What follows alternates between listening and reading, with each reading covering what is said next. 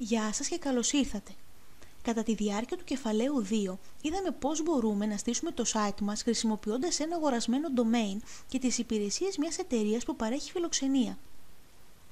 Στην περίπτωση που το κόστος για μερικούς από εσάς είναι μεγάλο ή κρίνετε ότι θέλετε να πειραματιστείτε πριν προβείτε σε κάποια αγορά, τότε η ιδανική λύση είναι ένα δωρεάν site από το www.wordpress.com για να το κάνετε αυτό, το μόνο που χρειάζεστε είναι ένας ενεργός λογαριασμός ηλεκτρονικού ταχυδρομείου.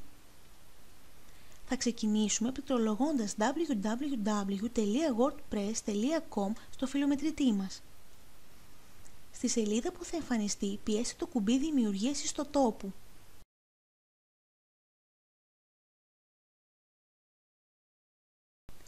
Στο παράθυρο που θα εμφανιστεί μπορείτε να επιλέξετε κάποιο αρχικό θέμα για το site σας. Το θέμα μπορείτε να το αλλάξετε οποιαδήποτε στιγμή εσείς θέλετε. Για τις ανάγκες του μαθήματος θα προσπεράσουμε αυτό το βήμα πατώντας το κουμπί στο κάτω μέρος της σελίδας. Το θέμα που θα έχει το site μας για την ώρα θα είναι το προεπιλεγμένο. Στην επόμενη σελίδα πληκτρολογήστε το όνομα του site που θέλετε. Για παράδειγμα, e-learning wordpress.lar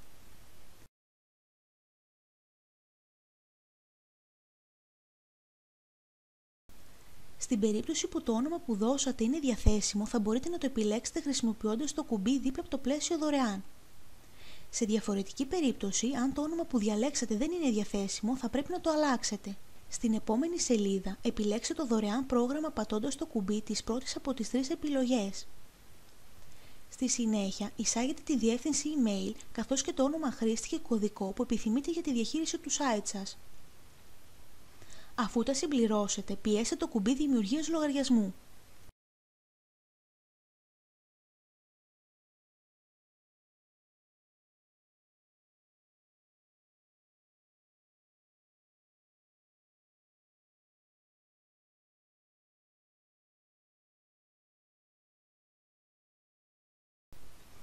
Η επόμενη σελίδα μας ενημερώνει πώς πρέπει να επιβεβαιώσουμε το λογαριασμό ταχυδρομείου που δώσαμε στο προηγούμενο βήμα.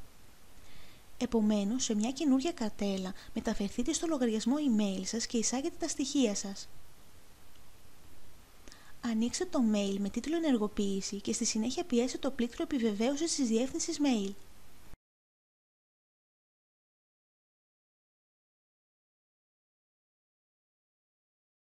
Συγχαρητήρια, μόλις φτιάξετε το πρώτο δωρεάν site σας. Αν θέλετε να μεταφερθείτε στον πίνακα διαχείρισης, τότε το μόνο που έχετε να κάνετε είναι να εισάγετε την κατάληξη κάθετος wp.login.php στο τέλος της διεύθυνσης του site σας. Στο παράδειγμα του βίντεο θα πρέπει να πληκτρολογήσω e-learning wordpress.wordpress.com κάθετος wp.login.php στην επόμενη σελίδα εισάγετε τα στοιχεία που δώσατε κατά τη δημιουργία του λογαριασμού και συνδεθείτε στον πίνακα διαχείρισης.